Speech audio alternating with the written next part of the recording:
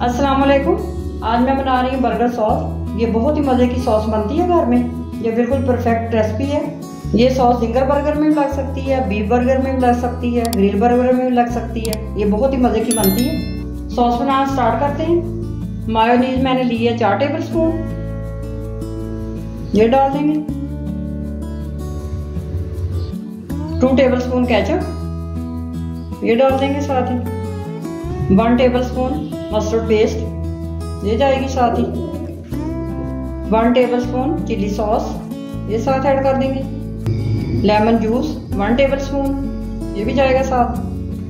Garlic powder half teaspoon काली मिर्च powder half teaspoon नमक quarter teaspoon paprika powder half teaspoon अगर ये आपके पास नहीं है तो ऐसे ही बना सकते हैं, ये बहुत मज़े की बनेगी।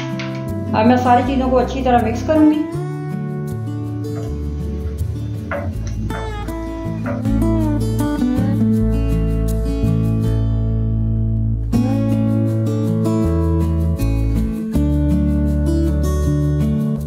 सॉस हमारी तैयार है। अब सॉस को मैं बॉल में शिफ्ट करती हूँ। बर्गर सॉस को मैंने बॉल में डाली है, ये देखें इसका कितना अच्छा कलर आया। खुशबू भी बहुत ही अच्छी आ रही है। ये बहुत ही मज़े की बनती है। आप इस सॉस को एयर टाइट डब्बे में डाल के 10 से 15 दिन फ्रिज में रख सकते हैं। आप इस रेसिपी को ज़रूर ट्राई करें, ज़्यादा से ज़्यादा शेयर करें, मेरे चैनल को सब्सक्राइब करें। अगर आप चैनल पर नए हैं तो सब्सक्राइब ज़रूर कर लें।